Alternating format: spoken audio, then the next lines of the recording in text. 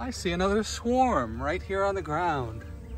Gorgeous looking set of bees, absolutely beautiful. I'm gonna go and get another hive box, set it up on the ground here, see if we can just get them to, um, to march in real quickly. All right, I've got my hive in place right next to the swarm. The easier you make it for the bees to make that transition, the better. So instead of having them try and manipulate their way over all of these weeds, I'm going to see if I can put a piece of wood right in here that will give them a nice easy transition into the box. That looks pretty good. As you can see, some of the bees are already discovering the hive, marching onto the landing board. There are foragers, scouts, uh, measuring the outside dimensions of the box.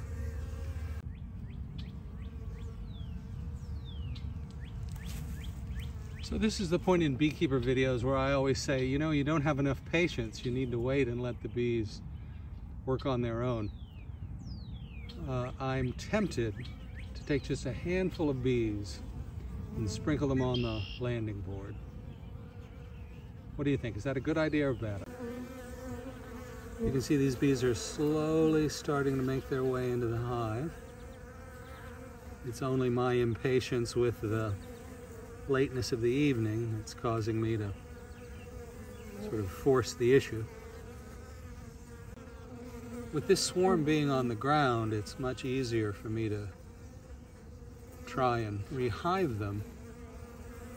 I can take my time and slowly take just a small handful of bees and introduce them to the landing board. I, uh, I don't feel as though I need to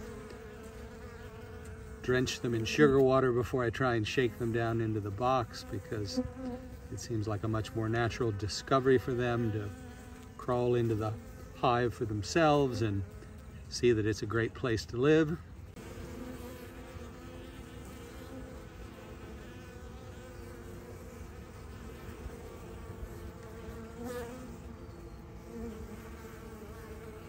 You can see them just marching right off of my fingers down into the hive. It smells like home. I put eight frames of drawn comb into, the, or I, actually I put six frames of drawn comb into this box and two frames of uh, blank plastic foundation. That is the very first bee I have seen fanning its Nasonov gland. Do you see this right here?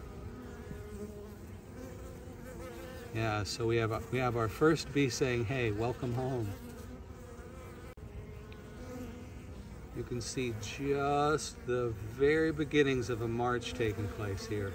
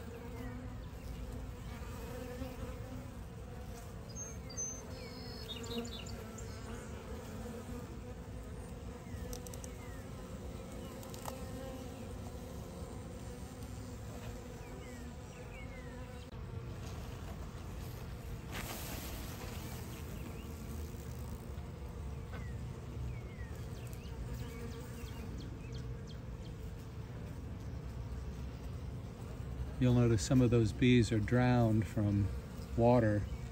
It was raining earlier today.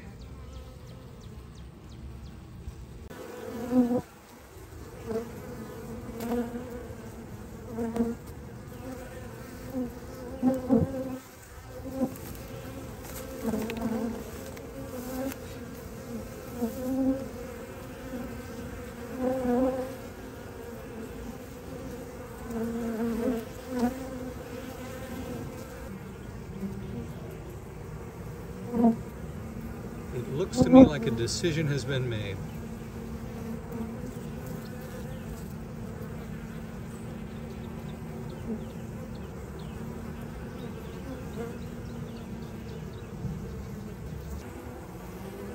Just reaching that golden hour with the sun going down. Wonderful moment watching these bees march into this new hive with just almost no assistance from me mm-hmm. whatsoever. I've picked up a couple of the leaves that have large numbers of bees on them and I've placed them on top of the frames. That's about it.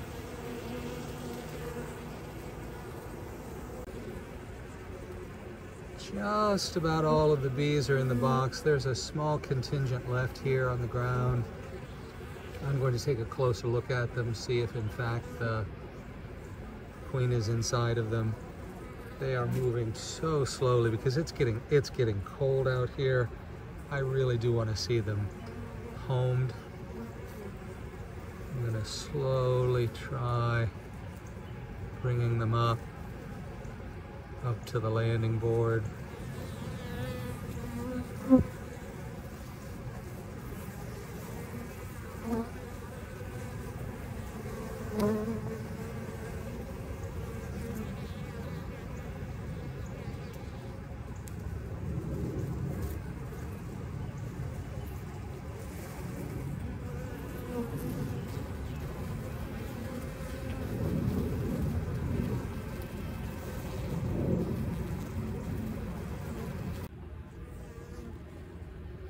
So many of these bees have died on the wet ground. I am I'm really worried about the ability of this hive to to manage.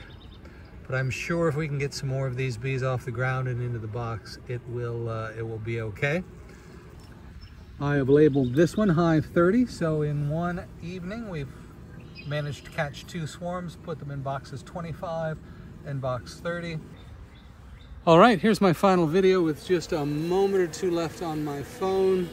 The bees have almost completely moved into the hive. Uh, I've tried to scoop up a few, but it looks as though there's an enormous number of dead bees here that just didn't make it in the amount of water that they had landed on. But uh, but I have confidence this hive's going to make it. There's a there's a large number of bees in the box. It should be great. So this is number 30. Number 25 from earlier today, that's two swarms one day.